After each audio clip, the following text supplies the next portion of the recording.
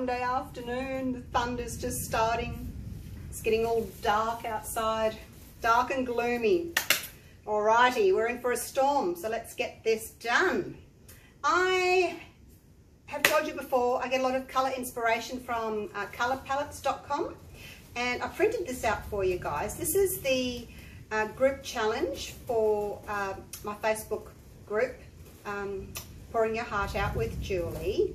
So we have got navy, purple, lime, teal or turquoise, magenta and pink. So I've added, I've used those and I've added my white mix with the satin enamel and I've also added my gold extreme sheen. So I'm going to do another jiggle pour but with these colours. So if you want to join in, there's no winners or losers. There's just, you just do it for fun and to challenge yourself. So um, you are all welcome to join the uh, our Facebook group page. Just don't join as a business, just join as yourself, please. And then we can all take part, eh? So that's this fortnight's challenge. And um, I am using Floetrol, as I always do when I do these sorts of pours. Um, and then when I do my flip cup pours, I use my glue and water. So the white is one part Artist Loft white to about a quarter of the satin enamels. And then that is mixed one part white to one part Floetrol. And my colours are all Liquitex Basics and they mix two parts Floetrol to one part paint. So this pale one here, I'll get my little colour swatch out again. That's medium magenta. And then we have just normal magenta or aqua magenta. That's a darker one. And then this one is turquoise blue. We have got uh, light green permanent. I guess I could have mixed a little bit of yellow into it to make it more of a lime, but I'm in a hurry, so I didn't. Uh, dioxazine purple is my choice for the purple there. So feel free to use whatever shade you want as long as you've got those colours there. And then my navy is the phthalo blue with a blob of black. The Extreme Sheen Gold, I always have to mix that up. So I used half a bottle, which is 30 grams, and I only put 15 grams of Floetrol with it. So two parts paint to one part Floetrol. Uh, I have to thicken it up, otherwise I just lose it all. It just disperses and mixes in with all the other colours and I lose them. So uh, let's do a little bit of a white covering here.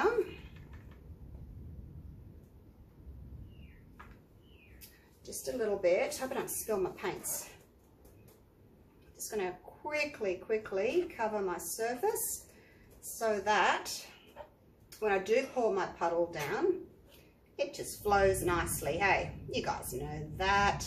Just helps it slide, because sliding on a dry canvas isn't quite as easy. And then your, your rings that you've created kind of um, fold over themselves and you lose them. So it's, it is a good idea to put down a little base coat first for this particular style. I don't do it with my flip cups because I use such a lot of paint anyway and because I'm dragging down the whole canvas, I don't need it to float on other paint. Get this done real quick. Can you guys hear the thunder? I don't know if you can. Did you hear that? Rumble, rumble. Oh, look where, where I am on the Sunshine Coast. Excuse me. The storms tend to just bypass us. You know, we get a little bit of lightning, bit of thunder, a little bit of rain, but it just sort of all passes by us and goes north. So, which is what happened yesterday. Oh, we got hail yesterday, 35 degrees Celsius, and we've got hail, hail, excuse me, I'm still getting over my fluey thing. All right, you just sit there for a minute. Paint. now, I'm not going to put these in this order. Um, I thought I'd go navy first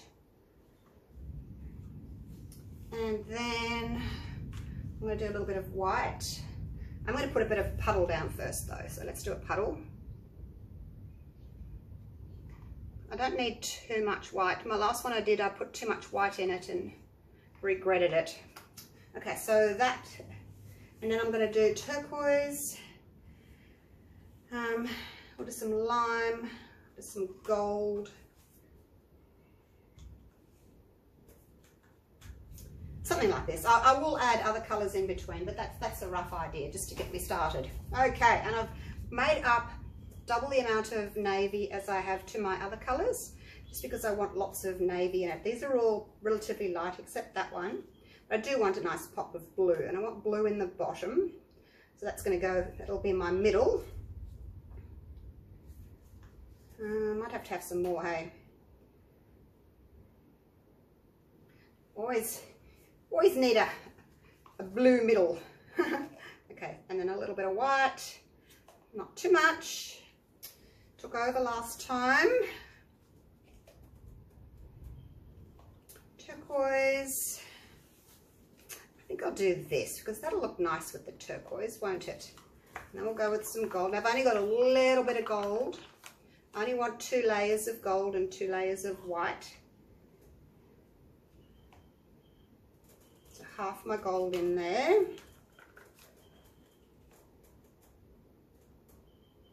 So I guess the gold and the white were about half the amount that I'm pouring into to my colours. Then I'm going to do the light pink. And then the... I'm going to do some navy next and a little bit of white. And then I'll put this magenta on. And what reckon magenta and gold would be like? Let's do a little bit of gold in there. Actually, I might have enough for three little layers. Let's do that, because that might look pretty. And let's change them up a little bit. Some lime next to the purple.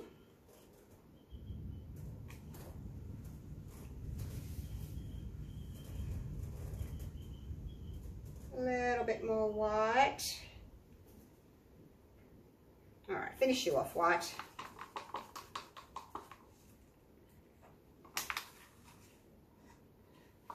Okay.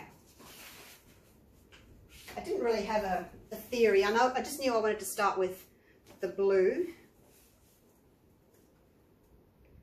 Um, okay, navy, and then finish off the gold.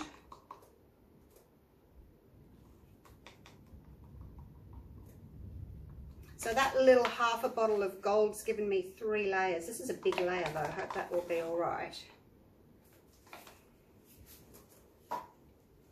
And then what will we have? Oh, we haven't had some pink for a while. Let's go with the pink. Some purple. Some more lime.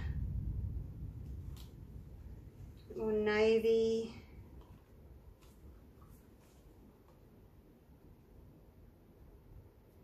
I probably made up too much paint because I've got extra colours now, you see. So I just did 50 grams of pouring medium and 25 grams of paint. But in reality, I probably only needed 40 and 20 um, because I don't need a lot of paint. But um, how many colours have I got? One, two, three, four, five, six, and then the gold and the white. So I've got eight colours.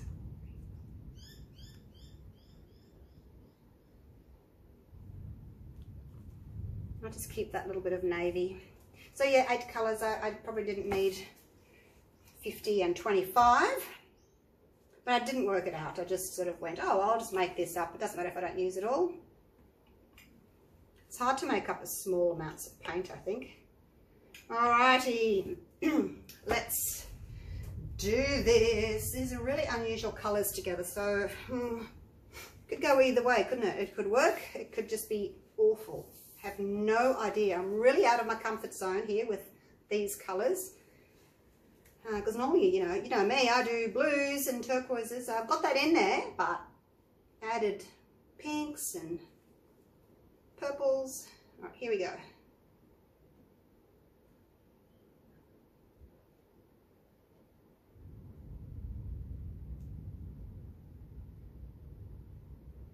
And again, I'm doing my little jiggle because I like the fingerlings. Do need to try and get a little bit closer though, so that the fingerlings don't wobble.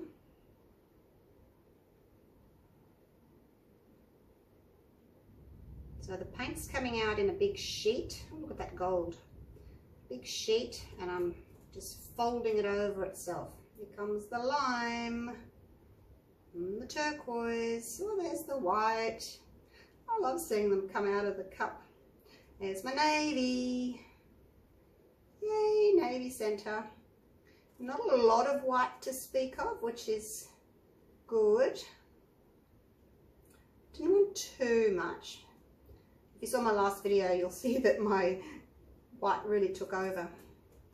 That was pretty fast, wasn't it? I tried to pour slower, but then the paint kind of wiggles.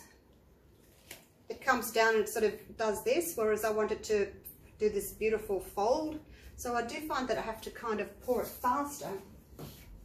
Okay, oh, that's um, very interesting, isn't it? All right, let's give it a bit of a torch. Pop some bubbles. Pop bubbles, come on. Yep, gotcha.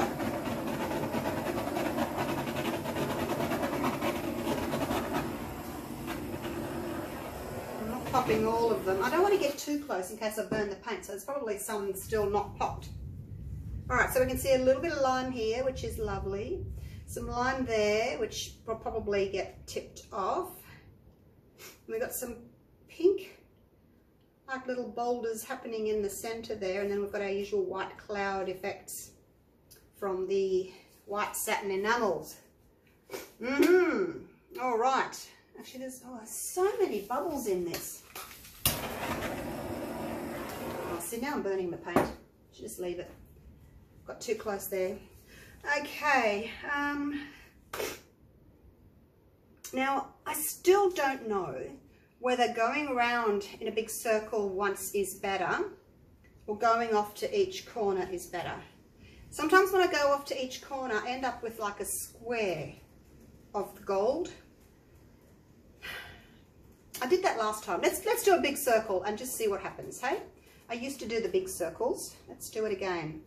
We're just going to go around and kiss the edges. Get the paint moving. So I do it pretty fast because I keep the momentum of the paint going. And we'll go straight over there. And this is where we then come back to the middle. So we can change direction.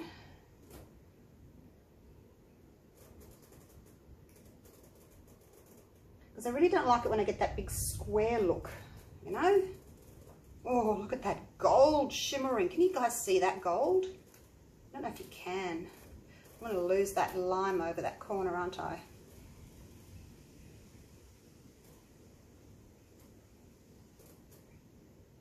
To the middle. I'll turn it around so you can see me going for that last corner. Back to the middle. Well, I don't know which way I just came from. it's a problem with turning it around. I think, which way was I going? Can't remember which corner I just did. Wow. That's so pretty. I think it goes that way with the navy at the top. So it's upside down for me, but it should be right for you. What do you think? It's kind of like a snail. oh dear. Now, do I like that pink down the bottom there or will I get rid of some of that pink?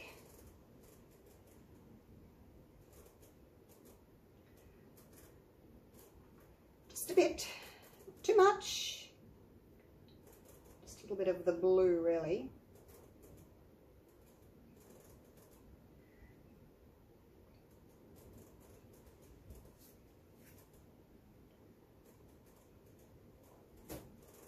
Isn't it funny how, like I'm looking at this here.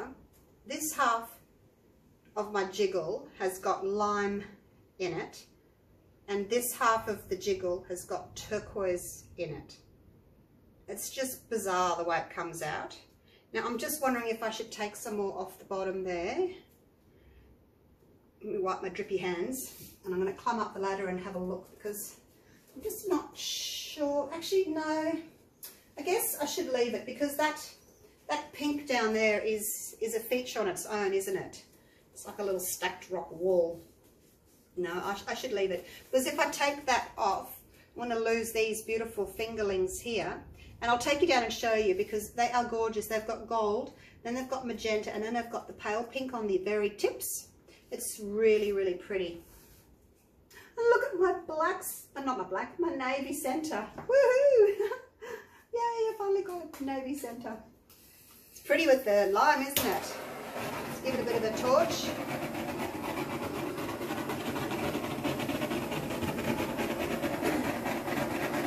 We'll get some little things popping up in the navy there, little cells or pearls or whatever, hopefully, if I torch them. Love it! It's really unusual. It's so nice for me to do something that's not just blue, hey? All right, let me do my corners real quick. How's that one? Can't see. Pretty good. They're pretty good. A little bit of thunder. So it's moving away. I don't think it's even going to hit me. I don't think we're going to get a storm at all. It seems to have moved on. Does that. It, it misses us.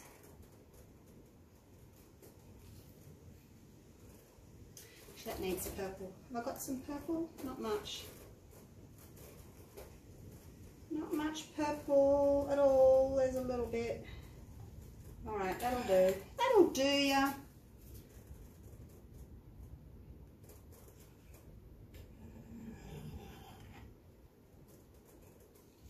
As they say, that will do. Okay. Oh, look at that lime. Oh, I just love it. Let me get my grubby gloves off. Take you down for close up. You've got to see these fingerlings that I was telling you about. So it looks like, to me it looks like some kind of weird snail creature. you know, with its, like, what are those things called near its mouth? That's its mouth? I don't know.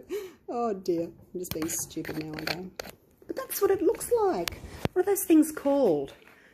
That snails and, and crustaceans have near their mouths. Those little feathery, eatery things. Now that they eat with, or they push food in with, I don't know. That's what they look like. Okay, let's have a look here. Oops, that's gone a bit, a bit bright there. Check out those fingerlings like three colors. There's lime in the middle, and then there's the dioxazine purple, and it's got the pink on the very ends. So that's that side. And then you look over here at these ones, and they've got the gold, and then they've got the dioxazine purple, and then they've got the little tips on the ends of the pale pink. Really, really pretty. Happy with that one. Oops, can't get the colour right. I keep moving away and it's bringing in more light. So there's that lovely navy blue there. Look at those fingerlings. Pink with the turquoise. Pink and turquoise always pretty together, aren't they? And then there, look at those ones. Oh, there's just so much to look at. And over here in the corner, we've got these like points. I wonder if it'll help if I turn that light off. Oops, I'm on autofocus still. Turn it off. That's better, isn't it? It's better light? Yeah, that's better. Wow, look at it. And then I got these pink. See, I don't, I'm not a fan of this stuff down the bottom here that the, um, the metallics do. But you can't get rid of them, otherwise you lose these gorgeous fingerlings. So, I'll just have to deal with them. They're okay. Now, let's see. Oh, look, can you pick up that gold? Look at that gold. When it dries, it's just going to be amazing. The pink and the turquoise there, little points into the gold. And then all the corners are nice. They're the dark purple. Oh, can you see that gold shine? Look at that. Look at that gold shimmering. I just picked it up there as I walked around the corner. Oh my gosh, look at the gold. It's going to be so pretty when it's dry. And we've got some cloud effects happening here. I don't have my white too thin because I don't like it taking over too much. I just like it having a little bit of the cloud effect. Ah, oh, look at these. Look at these pinks with the gold shimmering.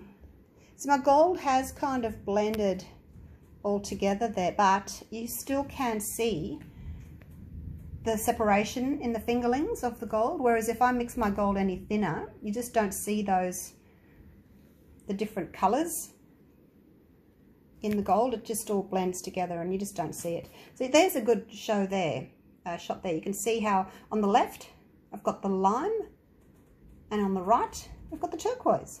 It's just bizarre, isn't it?